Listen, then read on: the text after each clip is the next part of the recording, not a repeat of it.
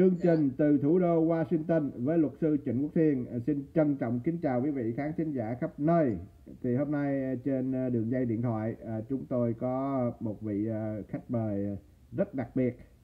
Đó là giáo sư sử học Nguyễn Mạnh Quang. Cháu xin chào bác Nguyễn Mạnh Quang ạ.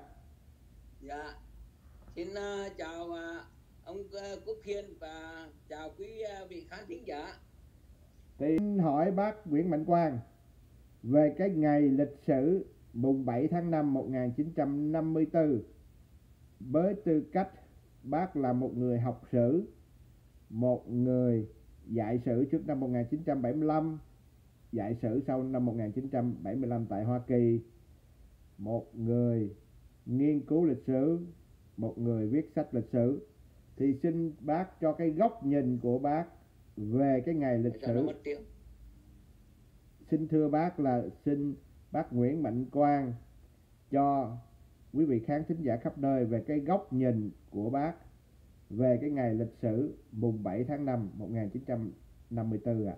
À, nói về cái ngày à, mùng 7 tháng 5 đó thì tức là cái cuộc chiến nó kéo dài từ năm ngày 19 tháng 12 năm 1946 thì cụ Hồ Chí Minh có đề ra là lấy nông thôn bao vây thành thị. Giai đoạn đầu á là cầm cự. À, giai đoạn đầu là phòng ngự. Tức là giặc nó đánh á, thì ta chỉ phòng ngự có nghĩa là ờ, uh, tiêu hổ kháng chiến đào hào giao thông đáp ưu ngăn cản cho địch không có dễ dàng tiến đến cái vùng hậu phương của mình.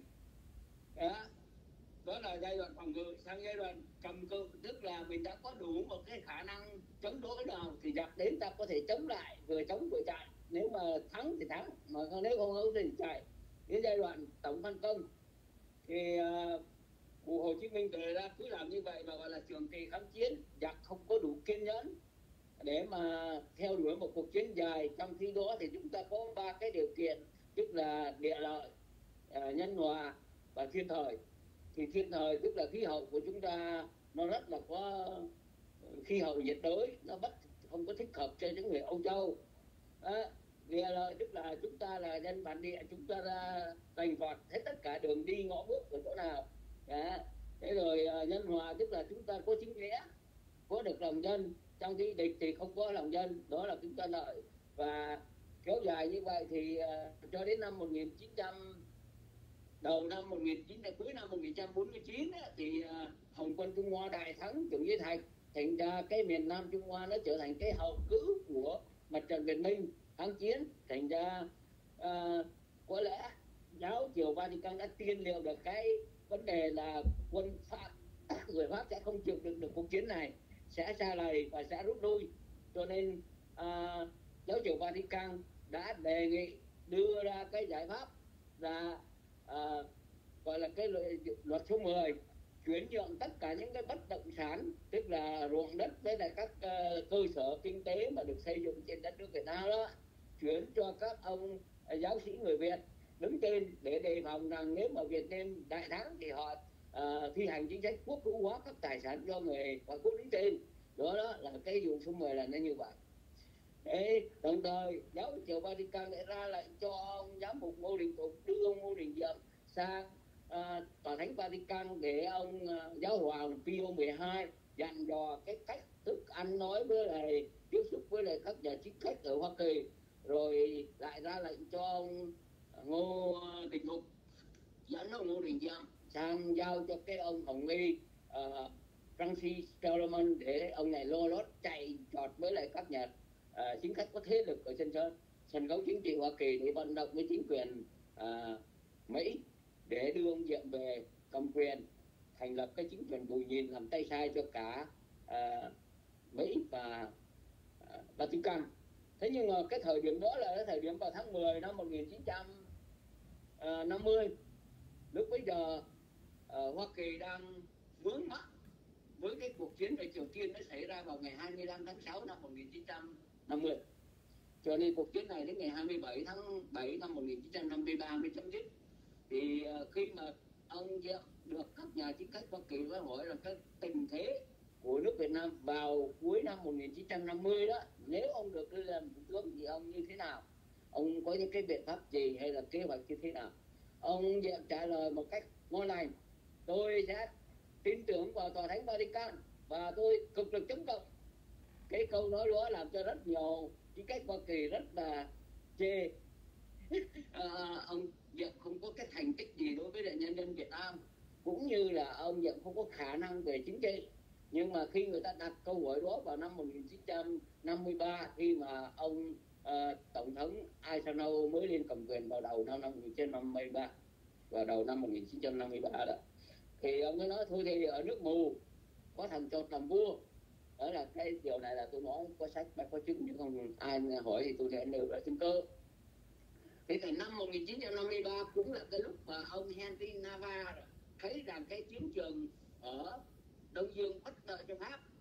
Ông ấy tính rằng giữ vào cái chỗ Điện Biên Phủ là cái chỗ ngã ba, mà có thể là quân Trung Hoa nó đến đó rồi nó đi về phía thượng Lào, nó đi xuống miền Nam, nó đi vào cao nguyên, và nó cũng đi về phía đồng bằng mình nhớ quân vào cái đó, nhưng nó là cái lòng chảo Điện Biên Phủ ông ấy hy vọng rằng ừ, quân đội Việt Minh yếu thế, không có đủ khả năng về quân sự, với lại sử dụng về các súng, với lại cũng không có đủ khí tài để mà chống lại cái quân đội Pháp. Bây giờ ông ấy đưa lên dần dần từ tháng 11 năm 1953 cho đến lúc mà xảy ra chiến tranh khốc liệt đó vào khoảng tháng 3 hay cuối tháng, đầu tháng 4 năm 1954 đó, thì ông đã đưa lên đến 16.000 quân đội liên hiệp Pháp trong đó có mấy tiểu đoàn nhiệm vụ của Việt Nam.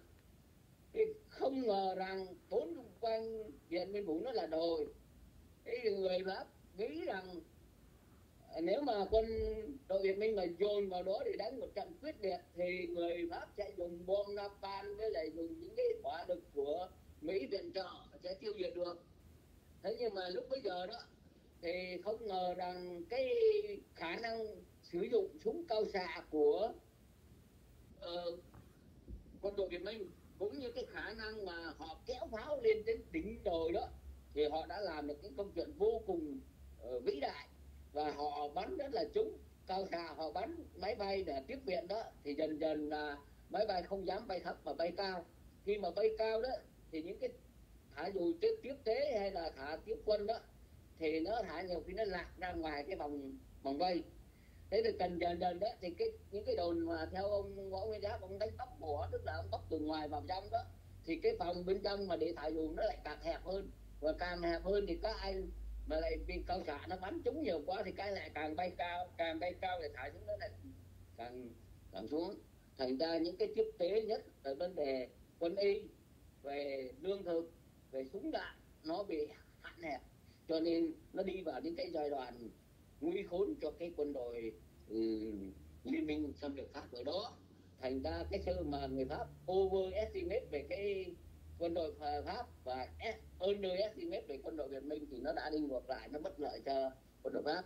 Trong khi đó thì ở tại bên mỹ tổng thống Eisenhower với lại các cố vấn đã nghĩ đến dùng bom nguyên tử là do uh, uh, Vatican vận động thì khi mà ông Eisenhower vận động thì đưa ra cho hội đồng an ninh đó thì hình như là có ba phiếu chống có hai phiếu phụ phụ à, phật và đồng thời đó ông Eisenhower còn nói rằng là à, nếu mà được anh đồng thuận thì tôi mới làm. Thì bây giờ anh á, là ông ngoại trưởng à, à, anh ông đồng ý ông bảo bây giờ hội nghị Geneva đã tiếp tục sẽ giải quyết chấm dứt chấm dứt vấn đề việc um, Ừ, chấm dứt uh, vấn đề chiến tranh tại Việt Nam. Rồi đồng thời lúc bây giờ là ông uh, Pio 12 lại có ý như là tích cực ủng hộ cái biện pháp dùng bom nguyên tử để giải vây cho quân đội Pháp ở tại Biên Yên Phủ. Nhưng mà vì ông Eisenhower quyết định đã không nghe lời rồi thì không thành.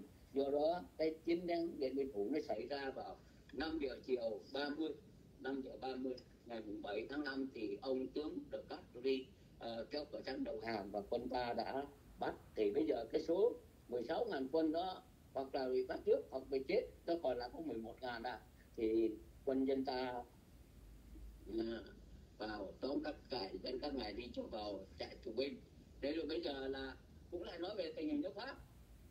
Ở đây hơi dở dài cái khi mà ông De Gaulle theo cái quân đồng minh về giải phóng nước Pháp vào tháng 8 năm 1944 đó thì ông De Gaulle đem quân về và lúc bấy giờ thì là cái đảng gọi là đảng MRP tức là Muammar uh, ờ, Republican uh, Popular tức là đảng Thiên Chúa giáo đó, thì nó lại hoạt động mạnh đó là nó cầm trịch cái sân khấu chính trị cho đến uh, giữa tháng 6 năm 1954 rồi cái đảng nó thành nhau nó là cầm quyền nó ủng hộ cái cuộc chiến mà người nhân dân Pháp thì nó chống lại nó gọi cuộc chiến đó là cuộc chiến bẩn thỉu La Salle là Guerre thành ra khi mà nó thất bại điện biên phủ thì cái tháng 6 năm 1954 nó xảy ra bầu cử thì cái đảng xã hội của ông mong Đét Frank lên ông lên cầm quyền thì họ cương quyết rằng chuyến này ông ấy sang đến hội nghị Geneva, ông ấy phải cương quyết bằng một cái ờ, bằng mọi giá để được một cái thỏa hiệp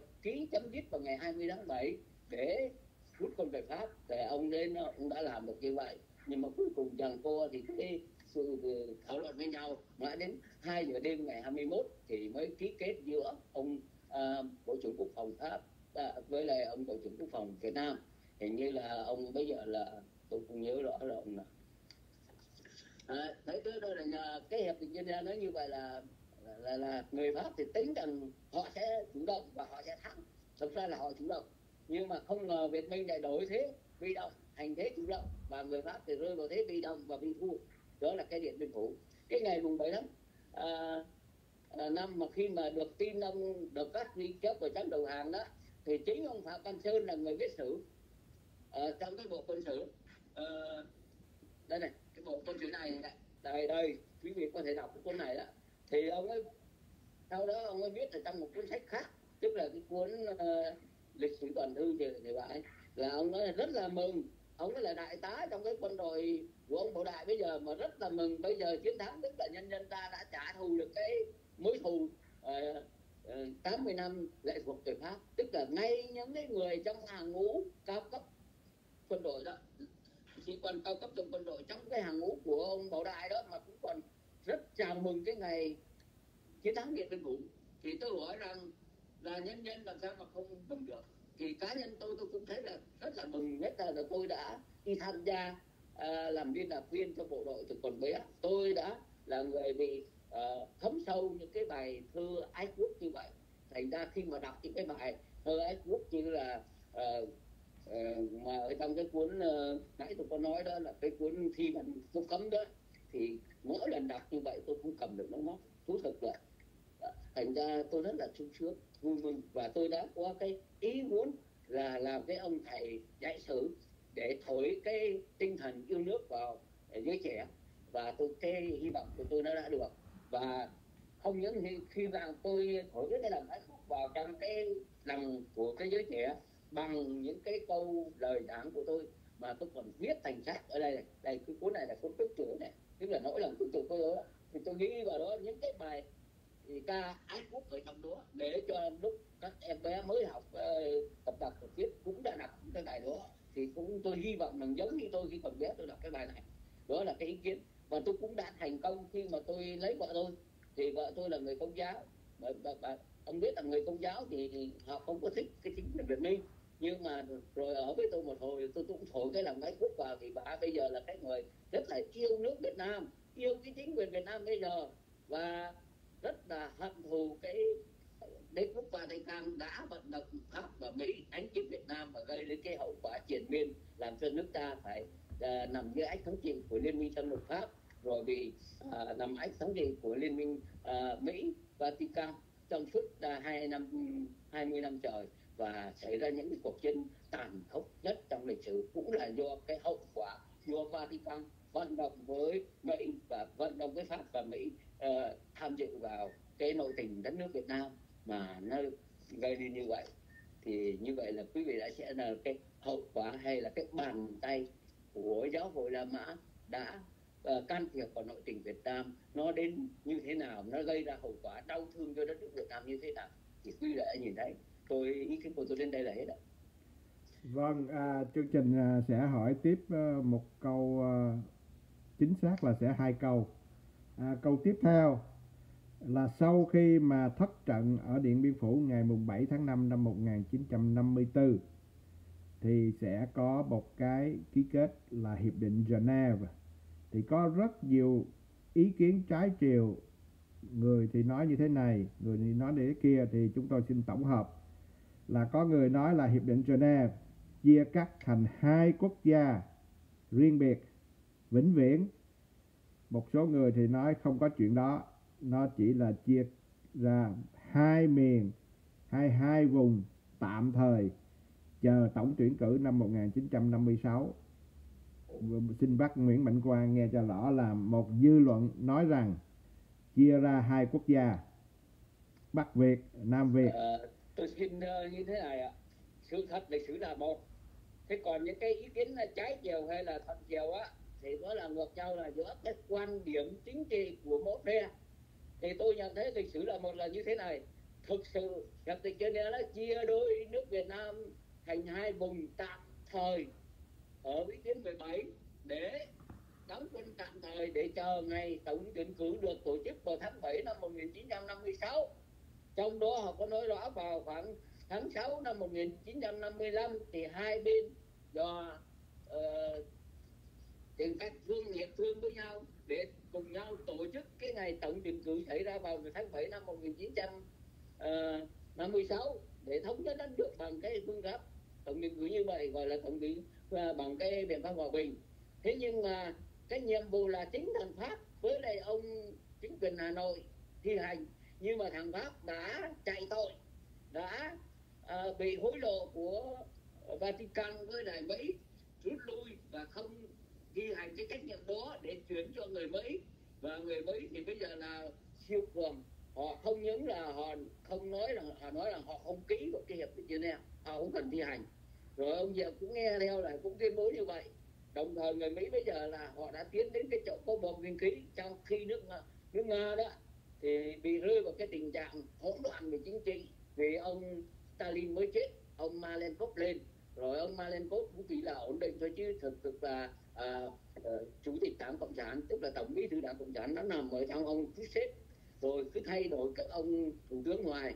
Trong khi nước đầu thì bắt đầu trở mặt à, họ bắt muốn rằng là họ trở mặt ngay từ lúc mà ừ, lúc điện biên phủ sắp thử thắng trận thì họ mới cố vấn cho ông võ nguyên giáp rằng phải đánh biển người thì mới thắng được và đánh cấp tốc. Thì ông võ nguyên giáp đã nhìn ra được cái thủ đoạn thâm sâu của uh, của của trung cộng là họ muốn cho mình quân đội chết thì yếu đi.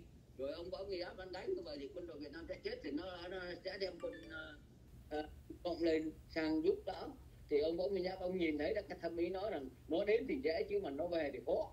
Do đó ông ấy quyết định là phải đánh bóc bộ đánh dần đánh đến đâu được đến đó. Tức là nó đã trở mặt tới đó rồi. Thì đến lúc hội nghị Geneva đó thì theo cái lời nói của Lê Duẩn ở trong cái video tôi được nghe đó thì nó đã đi với lại Mỹ để nó ép chính quyền Việt Nam chia đôi. Đó, thì bây giờ là tàu trở mặt Liên Xô thì đang bị lúng túng về vấn đề hỗn loạn về chính trị do cái sự chết của ông Stalin gây ra. Thành ra Việt Nam mình đã theo đuổi chiến tranh cũng kiệt quệ lắm việc kiệt quệ lắm rồi. Do đó ông Hồ Chí Minh nói thôi thì bây giờ hãy tạm thời rồi mình sẽ tính sau. Tức là hãy dẫn quân để mà phục hồi cái sức mạnh quân sự của mình. Thì về rồi đến lúc mà sau này uh, chia đôi rồi thì người Mỹ với lại ông Ngô Đình Diệm phản bội lại cái hiệp định Geneva vi phạm cái hiệp định Geneva. Không uh, bằng lòng tổ chức tuyển cử tổng tuyển cử.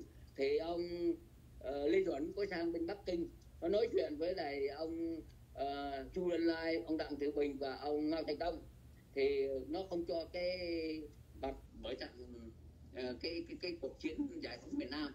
Cuối cùng ông Lê Duẩn ông thuyết phục mãi thì cuối cùng nó bảo chỉ được uh, mở cái cuộc chiến ở cấp uh, đại đội thôi.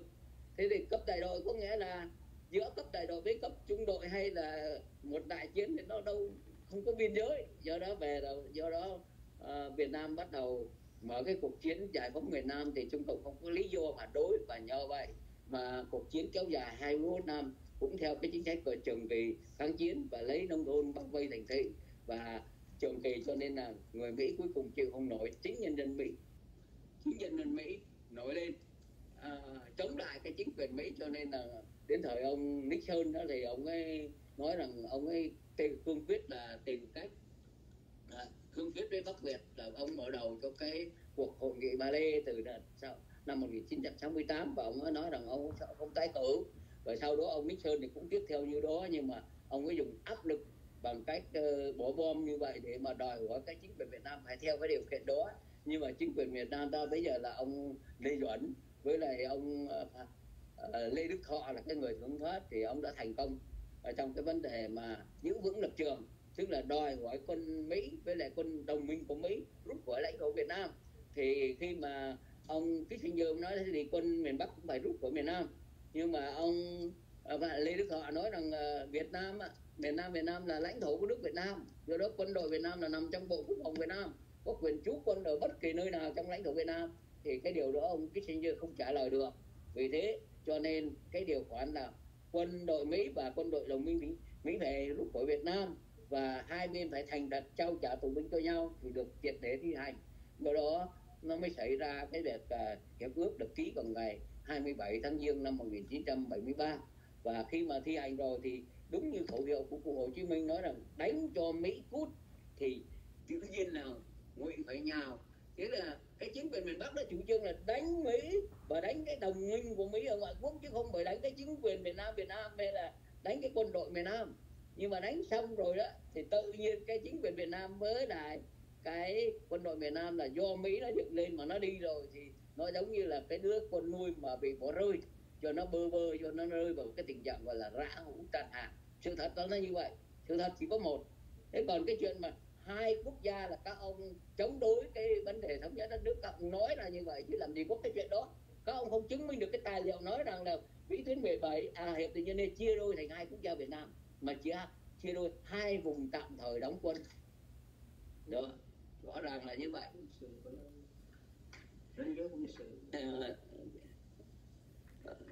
Tôi xin nói là là chia đôi cái hai vùng tạm thời đóng quân quân sự để chờ ngày tổng tuyển cử thống nhất đất nước như vậy là đâu có phải là hai quốc gia. Thế họ đã bị ra họ nói tôi đã được nghe những người nhiều người cũng có luận điệu như vậy. Nhưng mà cũng không cần nói rõ ra thì ai cũng biết là người nào thuộc về cái luận điệu đó. Vâng, à, cảm ơn à, giáo sư Nguyễn Mạnh Quang đã chia sẻ trong cái bài nói chuyện hôm nay. Thì chúng tôi cũng xin nói rõ để quý vị khán thính giả à, hiểu được là tạm thời chia ra hai vùng. Và lấy cái vĩ tuyến 17 làm cái giới tuyến quân sự tạm thời. Nhưng mà trên trên thực tế ờ, xin thưa với quý vị khán thính giả là sẽ không thể nào mà có một cái đường ranh nào mà gọi là vĩ tuyến thứ 17 cả. Xin nói rõ như thế. Nó là không thực tế, nó chỉ có trên bản đồ nhưng mà không không có trên thực tế. Và trên thực tế thì người ta phải lựa một cái con sông tức là một cái ranh giới tự nhiên để mà theo đó. Thì chúng tôi cũng đã nói một lần với ờ, một người ờ, là ông Nguyễn Mạnh Cường ở Nam Cali, là trong những thời ngày xưa thì ờ, người ta đã phân chia theo các con sông, chẳng hạn như con sông Danh là biên giới của Trịnh Nguyễn và hai bên đã đánh nhau trong ờ, 150 ờ, năm với 7 trận ờ, đại chiến Trịnh Nguyễn phân tranh rồi sau này thì có nhà Nguyễn, nhà Tây Sơn.